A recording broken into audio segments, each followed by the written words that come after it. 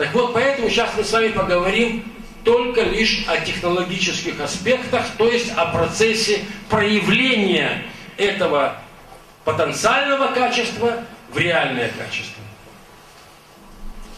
Тут же одно слово о международном опыте. Международный опыт крайне, крайне, крайне важен, интересен. Он обогащает, он наполняет дискеты, которые влияют на мышление, на э, анализ э, факторами и так далее. И в счете приводит к э, очень интересному творческому процессу. Но переносить его с одного региона на другой, даже если это Бургонь, даже если это Бурдо и самый высокий там шато, это, в общем-то, технологическая глупость.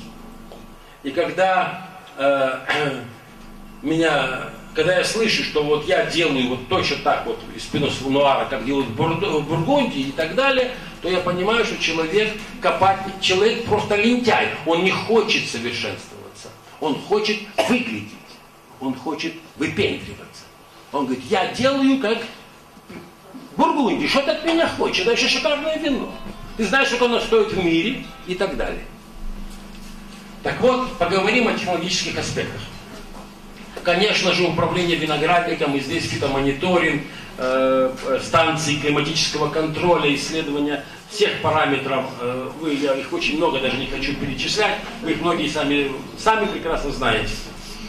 Э, конечно же, в наших условиях очень важен ручной сбор в самое прохладное время суток, потому что лоза, ягоды очень быстро нагреваются. Я вам об этом говорил. А мы все еще по опыту своего детства знаем, когда фрукты и овощи самые ароматные и самые вкусные. Когда? Сезон. Сезон прекрасно, но когда во время дня? Э, время суток. Утром рано утром, до первых лучей. И вопрос, а почему вы думаете, что с виноградом будет по-другому? Да? Так вот, э, наша, наша задача там, собирать как можно раньше, как можно прохладное сырье. Я уже не говорю про то, там, 4 часа знаменитые от сбора и до переработки, и чтобы не было тряски, особенно такие сорта, как Семион там, и другие, которые уже он течет, и так далее, и так далее. Но температура очень-очень важна.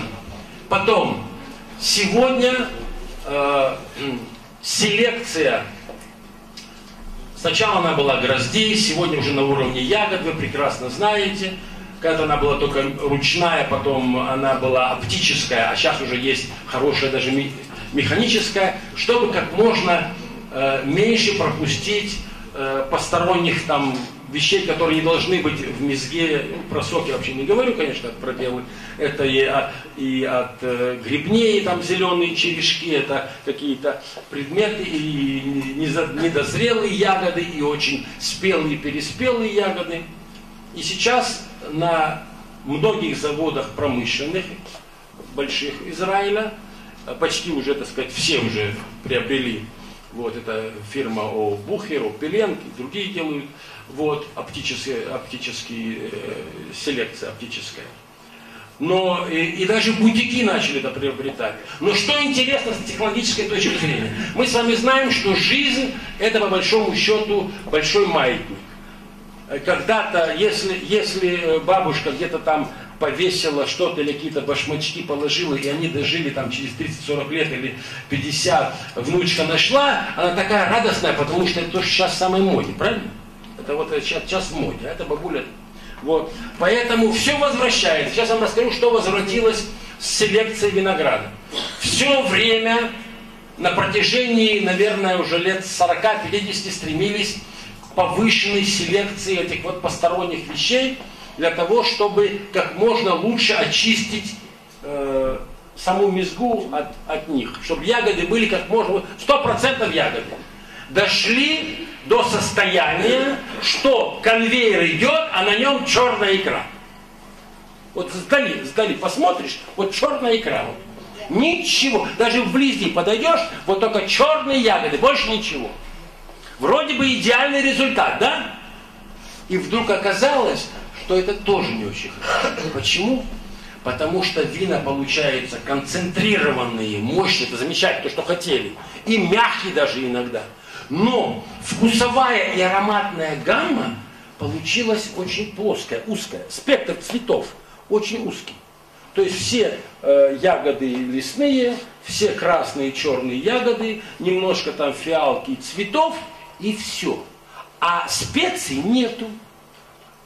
И эти вина даже после долгой выдержки дают прекраснейшие вина нового света. Это в основном фрукты, немножко красиво облаченные тонким подходящим дубом и временем. Но получить хорошее вино гастрономическое, дорогое, которое будет выполнять функцию потрясающего, дорогого и особенного соуса в трапезе, ну, это все, что все остальное есть там с черносливом, там, с вишней, там, со смородиной и так далее. И сейчас передовые винодельни, они имеют не только оптический этот селекционеры получают черную икру, они потом еще селекционируют все гребни, отделяют качественные, вызревшие, споласкивают и добавляют туда перед прошением. Поэтому, поэтому все, как говорится, требует философского подхода.